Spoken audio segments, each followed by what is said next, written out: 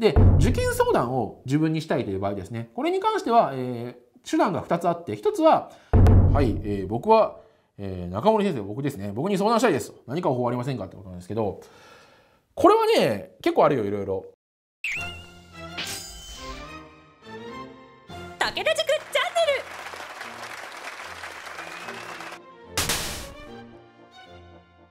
やっぱ本当にやっぱ直前期じゃないですか直前期ですねセンター試験も間近で、はい、ね、一般入試だってもうね早いところだったら1か月切っちゃってますよもう本当ですねもう、うん、本当にクリスマスに戻りたい大して戻ってないね。大して戻ってない。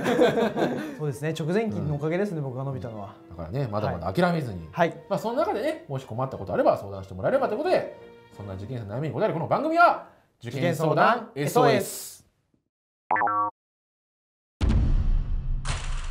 はい、それでは今回の質問ですね。えー、僕の件に武田塾あるんですが、はい、えー、僕は、えー、中森先生、僕ですね。僕に相談したいです。何か方法ありませんかってことなんですけど、これはね、結構あるよ、いろいろ。えー、まずはですね、あのー、生放送ですね。あのー、毎週火曜日8時、えー、夜の8時からですね、えー、スタジオコース参考書最強伝説という生放送でやってて、ここでコメントで質問ができます。ただこれは、あのー全部の質問に答えられるわけじゃないんで、まあ、あの早めに質問、えしてくれた方は結構あの答えられるかなと思うんで、これはあの、え結構早く、え質問返せるかなとは思います。で続いて、えーこの武田塾チャンネルのコメント欄の質問ですね。これも、あのー、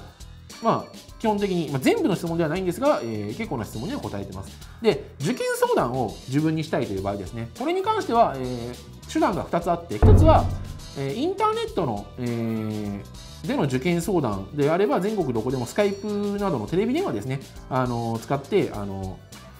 あの話せるようにはなっておりますので、こちらであの受験相談あの、無料の受験相談を受けられます。でもう1個はもう直接お茶の水に来ていただくことですね。あのこれはあのオープンキャンパスなんかで来る方は、えー、たまにいます。夏とか春にね。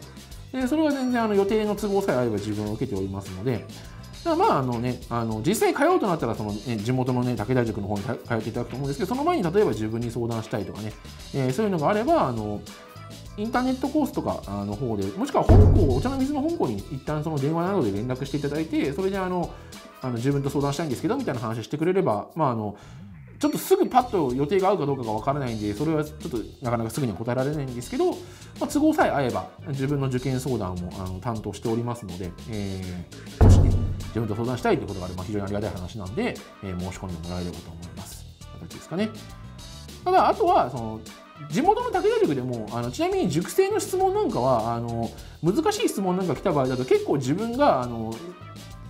校舎長の先生なんだと話し合って答えてるケースとかはありますなので武田塾の塾生は意外と自分が質問を答えてるケースも結構あったりはしますので悩んでる質問はどんどんですね校舎の先生にぶつけてみてもいいと思いますよなのであの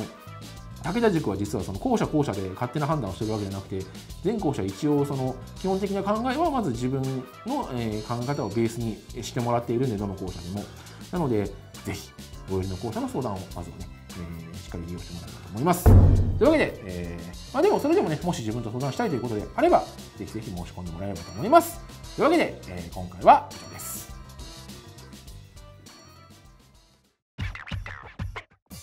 武田塾では全国の校舎で受験相談受け付けております。お申し込みこちらから最寄りの校舎探してみてください。そしてですね、私、中森が宿題のペース管理をして生放送でその結果を読み上げるスタジオコース、毎週火曜日やっております。詳細こちらからよかったら見てみてください。そして、武田塾チャンネルですね、チャンネル登録募集しております。よかったら登録をお願いします。